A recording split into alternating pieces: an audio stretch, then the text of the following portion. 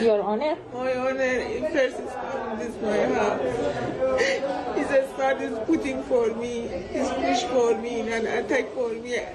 And baby. My baby is very too much is happy. My baby is sick. Λοιπόν, πολλά ακούστηκαν από χθες μέχρι σήμερα για αυτή την ιστορία, κυρίες και κύριοι. Εμείς θα πάμε στον Ευάγγελο Ευαγγέλου, λοιπόν, να μας πει τι ακριβώς έγινε μέσα από τη δική του πληροφόρηση και το ρεπορτάζ. Ευάγγελε, καλό σου μεσημέρι. Καλό μεσημέρι, καλό Ευάγγελε. Κύριε, καλό μεσημέρι, Στέλλα, κυρίες και κύριοι. Καλό μήνα και από εμάς εδώ στην ε, Λεμεσό. Πραγματικά είναι συγκλονιστικό το βίντεο του ξυλοδαρμού της αλλοδαπή μητέρας. Βίντεο το οποίο καταγράφηκε από γείτονα, από ένικο γειτονικής κατοικίας, σύμφωνα με πληροφορίες Στέλλα και Ονούφριε, οι οποίοι γείτονες έβλεπαν συχνά το τελευταίο διάστημα τις προστριβές ανάμεσα στην αλλοδαπή αιτήτρια πολιτικού ασύλου και τον 76χρονο ιδιοκτήτη της υπόγειας κατοικίας την οποία διέμενε η Αλλοδαπή. Mm-hmm. Φαίνεται μάλιστα ότι η Αλλοδαπή πάρα πολλές φορές, σύμφωνα με τις πληροφορίες μας, ζητούσε βοήθεια από ενίκους γειτονικών σπιτιών, είτε για παροχή ηλεκτρικού ρεύματος, είτε και στην πιο απλή περίπτωση ακόμη να φορτίσει και το κινητό της, όπως μας λέχθηκε. Ε, συχνά πυκνά είχαν διαφορές με τον 76χρονο ιδιοκτήτης κατοικίας για πολλούς και διάφορους λόγους ε, διαφορές για τις οποίες είχε ενημερωθεί μάλιστα και ο αστυνομικός σταθμός πολεμιδιών. Ευάγγελε, λέξηκε, λέξηκε ότι ο ιδιοκτήτης του σπιτιού είχε προχωρήσει σε αποκοπή του ρεύματος στο υποστατικό και αυτός ήταν και ο λόγος για τον οποίο δεν πλήρωνε η συγκεκριμένη γυναίκα η οποία ξυλοφορτώθηκε. Και ναι. από τον άντρα και από τη γυναίκα. Δηλαδή υπάρχει κι άλλο, απλά δεν καταγράφει και όλο σε βίντεο. Τουλάχιστον Ακριβώς. αυτό λέει η δική μας πληροφόρηση. Έτσι έχουν τα πράγματα έγιναν δηλώσεις από τον εκπρόσωπο τύπου της αστυνομικής διεύθυνσης mm-hmm. Λεμεσού, τον κύριο Λευτέρη Κυριακού, ο οποίος ξεκαθάρισε κάπως το σκηνικό με τις δηλώσεις του και να τις μεταφέρουμε. Ναι, ναι, ναι. Να πούμε ότι όπως μας αναφέρθηκε, το ρεύμα το είχε αποσυνδέσει την παροχή ρεύματος η αρχή ηλεκτρισμού. Και ο λόγος ήταν ότι έγιναν παρεμβάσεις στους μετρητές. Αυτό μας αναφέρθηκε και ε, ξεκαθάρισε κάπως εκεί το σκηνικό.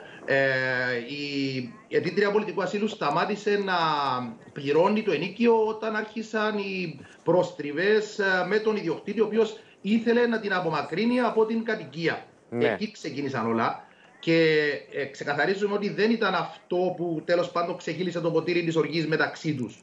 Ε, είχαν μεν διαφορές, αλλά ο κύριος λόγος ήταν η προσπάθεια του ιδιοκτήτη μαζί με τη σύζυγό του, η οποία, όπως μας αναφέρθηκε από τον εκπρόσωπο τύπου της αστυνομικής διεύθυνσης, της επιτέθηκε χθες εντός της κατοικίας. Κάτι βέβαια που δεν καταγράφηκε στο βίντεο, αλλά ναι. υπάρχει μαρτυρία.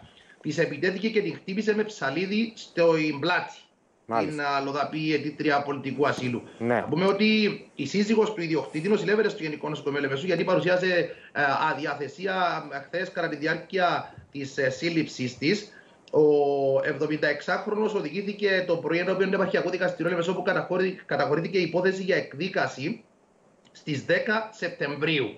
Και αφέθηκαν ελεύθεροι πόρους, Ευάγγελε. Αφέθηκαν ελεύθεροι με εγγύηση χρηματικό ποσό ύψους 10.000 ευρώ. Τώρα, από ό,τι καταλαβαίνω, η αποσύνδεση έγινε από τον ιδιοκτήτη ΝΕΜΕΝ. Οι παρεμβάσεις αφορούσαν ε, ενδεχομένως την προσπάθεια της γυναίκας να κάνει επανασύνδεση του ρεύματος και εκεί κρίθηκε ότι ήταν παράνομες αυτές. Αυτός είναι ο ισχυρισμός ήταν ένας ισχυρισμός ο οποίος διερευνάται. Ναι. Δεν ήταν όμως ο μοναδικός. Ευάγγελε, διευκρίνησε, διευκρίνησε και κάποια άλλη πληροφορία, αν έχεις βεβαίως την πληροφόρηση.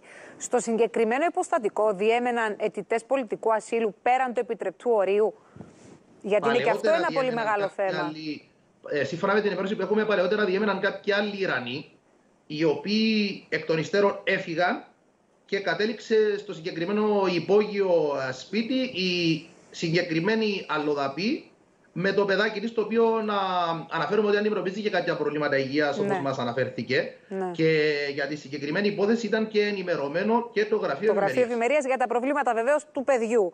Ε, ως... Γινόταν και η διαδικασία Στέλλα στο να εξευρεθεί νέος χώρος διαμονής για τη μητέρα και το παιδάκι. Επίσης, Ευάγγελε, πέραν από την αστυνομία, το Γραφείο Ευημερία γνωρίζεις εάν ενημερώθηκε για την βία συμπεριφορά που δεχόταν, ε, όπως υποστηρίζει η μητέρα; Αυτό δεν το γνωρίζω, δεν μας έχει επιβεβαιωθεί από κάποια αρμόδια πηγή από το γραφείο Μερία. Το μόνο που σίγουρα γνώριζαν ήταν ότι η συγκεκριμένη γυναίκα έπρεπε να φύγει από το σπίτι στο οποίο διέμενε με το παιδάκι της και έπρεπε να μεταφερθεί κάπου αλλού. Και όλο αυτό το περιστατικό, για να καταλήξω, εκτελήχθηκε μπροστά στα μάτια ε, και του ανήλικου παιδιού.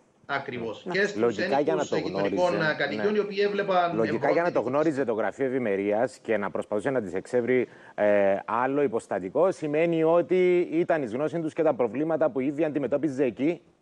Μάλλον το πιο πιθανό Το πιο με, το, πιθανό, το με τους πιο πιθανό ιδιοκτήτες. ότι Μάλιστα. δεχόταν πιέσεις για να απομακρυνθεί από τον ιδιοκτήτη της Ναι, κατοικίας. ναι, ναι. Μάλιστα. Λοιπόν, ευχαριστούμε πολύ τον Ευάγγελο. Να είσαι καλά, Ευάγγελε. Καλή συνέχεια στο ρεπορτάζ. Τώρα θα μείνουμε βεβαίως στο θέμα.